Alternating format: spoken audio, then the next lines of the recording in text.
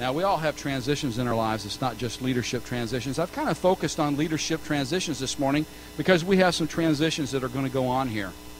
And uh, we, uh, we're going to just go ahead and deal with that, I think. We actually have several things that are, that are going on. We've got some changes that are happening. How many know that Sister Cheryl has been our children's pastor forever? Hallelujah. We, we, we've been trying to figure out how long it's been, and it's been a long time. And she's felt here as of late that God was calling her into a different area. And it seemed like, well, how are we going to, you know, what's, uh, you know, we looked at all of it and this and that, and of course, she's got to get out of the way to raise somebody else up. Amen. But Cheryl is going to be stepping into a new realm.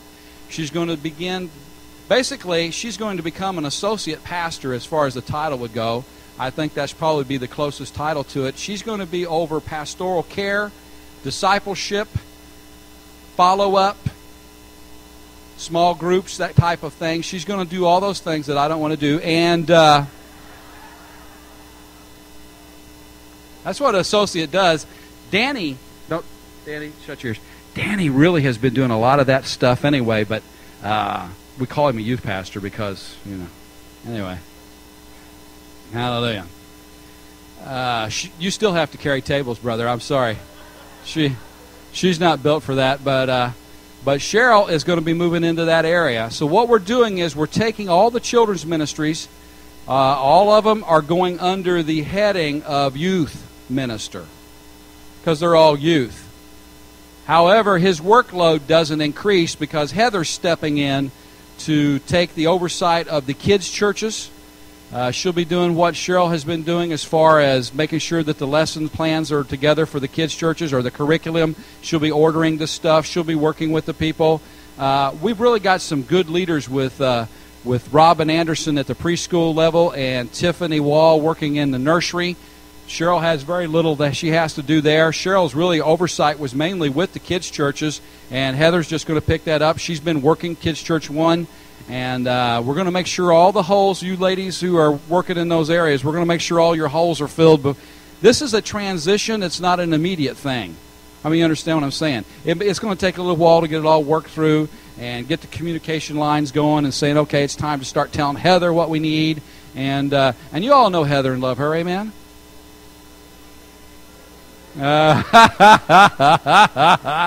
her family has questions, but the rest of us all love her. Amen. And she's been prepared for this. Hallelujah. So we're going to pray for them in just a moment. The second transition is going to take place will be with the Versailles Church. Uh, Pastor Dean has felt for some time, and we've been discussing it, that his calling is in outreach. Dean Alford, his calling is in outreach. It's not pastoral. Uh, he doesn't feel that he's supposed to be pastoring a church as much as he is supposed to be taking people out into the community and doing outreaches, evangelism, and that type of thing. He takes care of all of our services in the park, and there's a lot of things that he does. He's actually the one who's on vacation today. So next week we're going to be praying for him, and we'll be praying for Josh and Julia because Josh and Julia are stepping in as the pastors at Versailles. They're going to be overseeing that work there. As you know, Josh has his credentials, and uh, he's Google Gobble one of us. Hallelujah. So uh, we're going to pray for them next week and uh, believe that God's going to use them there. It is Josh's vision to go Sunday morning as soon as possible. And I agree with him. We've been doing Sunday night services down there for a while, and really, Sunday nights to try to get new people to come out is a little difficult. Most people think church, they think Sunday mornings. They don't think Sunday nights. So the only people who've been coming basically is the people who come from here. Now we get a few more come when we have someone from here speaking that doesn't normally speak. Their family members come out and support them and things like that. We are going to continue doing that for a short period of time, giving people an opportunity to speak. When we go Sunday morning, we may shut that down for a little while just so that we can focus on Sunday morning and people know that a transition has happened. Does that make sense? And that doesn't mean that'll be forever. We will we will give people an opportunity to speak and stuff, uh, but it'll just be different. We'll probably start our vision team up and just different things that we're going to be doing.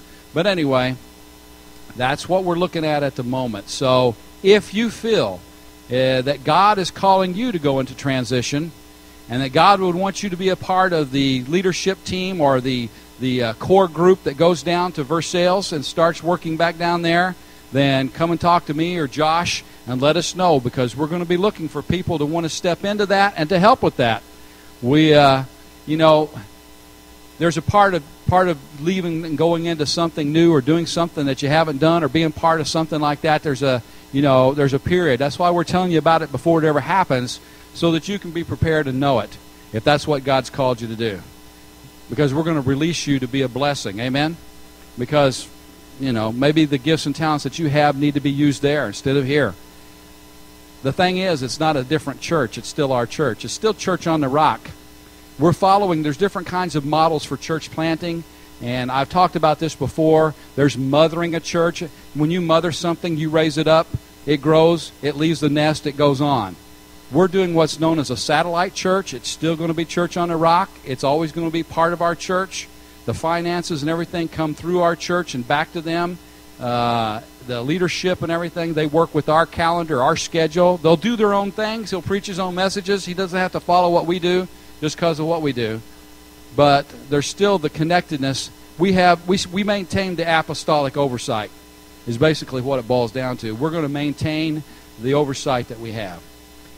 So that's one of the transitions that's going to happen, and we let you know about it. We'll pray for them next week. Next week, we will also be praying for new members. We have uh, nine people that we'll be praying for next week, seven that was in uh, membership class with us uh, this time, and two who had went through earlier uh, that we didn't get a chance to pray for. So we're going to be praying for all of them. And uh, so we got a couple of things we'll be doing next week. The last transition that we're having is uh, with Raymond, our treasurer. Hi, Raymond. Raymond's been our board member since the transition practically. We started grooming him right off the bat, uh, you know, and he graciously accepted it. Uh, we felt like when we made the transition, it would be good if we had someone from the uh, Batesville church come onto the board. And uh, Raymond had been on the board with the previous church, so we just transitioned him in. And now it's time to transition him out. Uh, it's always been our habit to take the treasurer's position and begin training someone else up to take that place because you can't just pick anybody and say, all right, we're going to elect this guy and he's going to be the treasurer. It takes a little more. You got to have a little bit of skill. Amen. You got to have a little bit of ability in some sort of, you know, financial realms. And uh, we are actually going to ask Oliver. He's already agreed. Hello, Oliver. Oliver's going to Oliver's going to step into that. He's going to be uh, fulfilling that role for us. It's going to be a slow transition. Uh, we'll uh, we'll have to do some training. Everybody probably knows that Raymond's brain is full. Hallelujah. Raymond has taken courses in school to be a nurse, and uh, that's that's more than a, than any anybody's brain can handle. Hardly, isn't that right, Sarah? Hallelujah. She's praying for you. Hallelujah. Uh, is that right, Cheryl? Yes, okay. So all the nurses agree anyway. We, uh, we, we want to pray for them this morning. So I would like for uh, Cheryl to come up first. I'd like our board members, which would include Josh. He's a board member. Raymond, uh, Ron. Why don't you all come up? Uh, Pastor Dan, Heather. We're going to pray for this first. And everybody else can stretch out your hands. And Joanna, you can come up here. Joanna's our uh, minister of worship. I know she looks like she's our church secretary because that's where she's at, but she's our minister of worship. We're going to pray for Cheryl that she would be able to step into her role, and we'll pray for her first, and then we'll pray for Heather, and Cheryl can help us pray for Heather as we transfer all that, and Pastor Dan because it's actually coming under his heading, and he's the one that has to deal with Heather. So